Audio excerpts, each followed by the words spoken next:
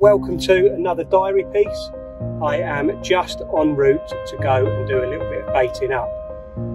The river season has finished, so I'm not going to be distracted with rivers at all and perch fishing and all of that. I am on my way to bait up a couple of lakes.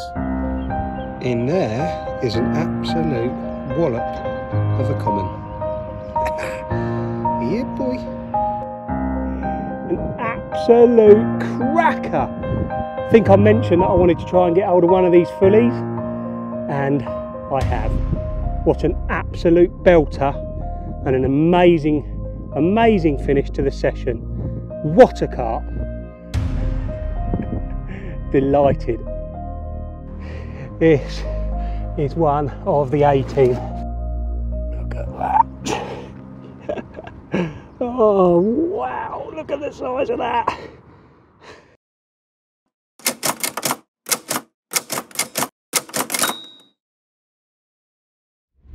Well, welcome to another diary piece. I am just en route to go and do a little bit of baiting up. The river season has finished, so I'm not going to be distracted with rivers at all and perch fishing and all of that. I am on my way to bait up a couple of lakes. I've just prepped my bait. Just got a load of tuna with boiling water over the top, 10 millers and 15 millers of which I'm going to leave some hole in there and I'm also going to mulch a few of them up as well to introduce to both lakes. They're both over in Cambridge Way. Can't say an awful lot about them just yet. Um, oh, big pothole. But, um, but one of them is very, very new, as in the fish in there haven't been long stocked. So I'm hoping they're going to be hungry and it'd be nice to go and get a few bites from some awesome scaly ones. So I plan to go over there tomorrow. Apologise if this is uh, if this is a little bit shaky. Um, and then I'm going to go over to the other lake uh, for a few more days this week. That lake holds some absolute belters in it, um, and they are quite a bit bigger in there. So I'm going to go up and bait both lakes in readiness. I'm going to keep the bait trickling in, and then I can chop and change between each one, depending what the weather's like, depending how I'm getting on and all that jazz. Um, to get you up to speed, sort of last week or so, um, I headed out at the weekend on the rivers for the last uh, weekend before the rivers finished. I went out on a boat with my old mate Sam, and uh, it was a belly boat, which was a bit of an experience. We uh, we dressed up, got our flippers on, jumped into the belly boats, and literally paddled down river um, with our feet, which was pretty cool The pike um, and the perch, neither of those were really biting. We caught a few jacks between us and some small wasps, but it was a it was an awesome experience and something that I'm definitely going to be investing in for the river season next year. Just allows you to get to those places that you probably can't get to, where you definitely can't get to by foot. So I'm going to be investing in one of them, that's for sure. Fuck me, I thought you popped it then. so Sam in his boat. There's my little bad boy there, little camo one, carp angler obviously. Hopefully we're going to go and catch some predator species on some lures. That'd be nice mate. Go on boy! little pencil. Well done mate. Just show us, mate, before you lob him.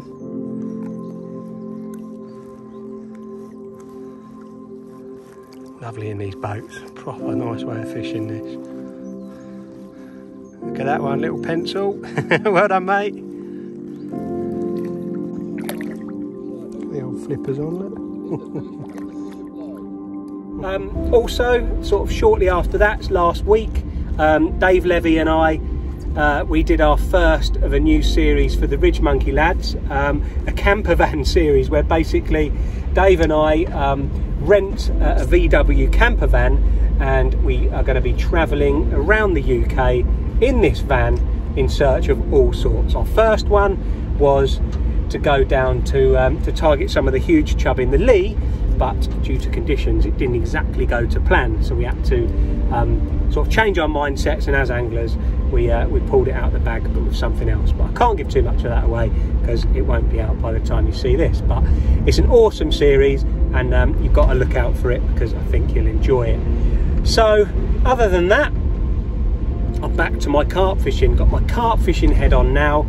It's been raining. Hopefully, it's going to stay dry while I go and tickle some bait in, and uh, hopefully, I'll see a few fish as well. If I see some fish, obviously, I know where I'm going to put the bait. If not, then um, I'm going to have a, a, little lead around, learn some spots on each of the lakes, and um, sort of use my best watercraft if they're not telling me where they are. So, yeah, exciting times.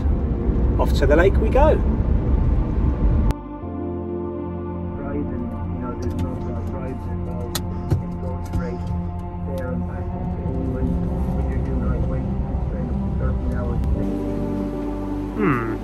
To choose from at this Marks and Sparks. Oh, they look nice. Better cheese and herb pastries. They'll go in the old Ridge Monkey, I'd have thought. Get in my basket. Well, good morning. I am at Towcester Racecourse. I'm not here betting on the horses like I would be normally. I'm actually here fishing, believe it or not. My mate Luke has acquired uh, a new lake right in the middle of the racecourse. Well, not right in the middle because uh, you'd get hit by horses, but just down from the racecourse is this pretty little lake. And good old boy that Luke is, he said, I can test fish it. Now, he put fish in here um, sort of a while back, some beautiful, beautiful scaly carp. And his plan is to obviously turn it into a fishery in the future.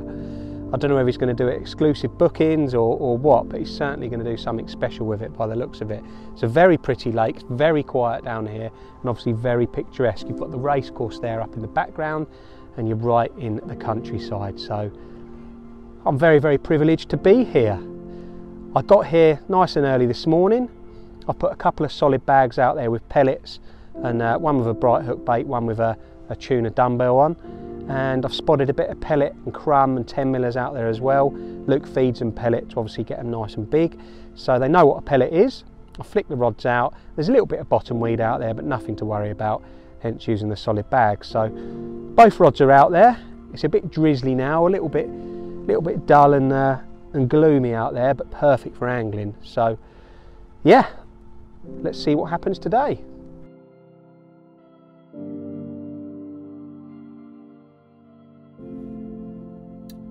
Well, unfortunately, my first taste of Towcester Racecourse fishing was a blank. It was pretty windy, pretty cold, pretty horrible, and to be honest, I don't think I was on them. Well, clearly I wasn't. But about an hour away from just about just before I was about to pack up, I did see one show and got onto that fish for about half an hour. I did have a quick plumb about just before I left as well, and there's a bit more depth there, and it's nice and firm, as opposed to sort of the silkweed that I was fishing over earlier. So I'm going to come back in a few days' time and have another go. Tomorrow, though, I'm heading over to Elson's to see if I can catch one of those big old originals. P.S. If you wonder why I'm sweating, it's because I've just hoiked over a big old field, a big wet field with the barrow, which is an absolute nightmare. So yeah, that's why I'm looking a little bit sweaty. But yeah, I'm off to Elson's tomorrow and I can't wait. I'll hopefully see you then.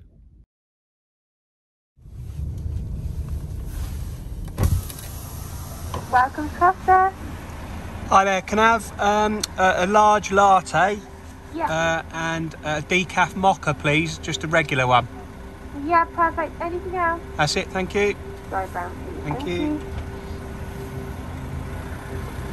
I do like a Cas. do like a Costa. There we go.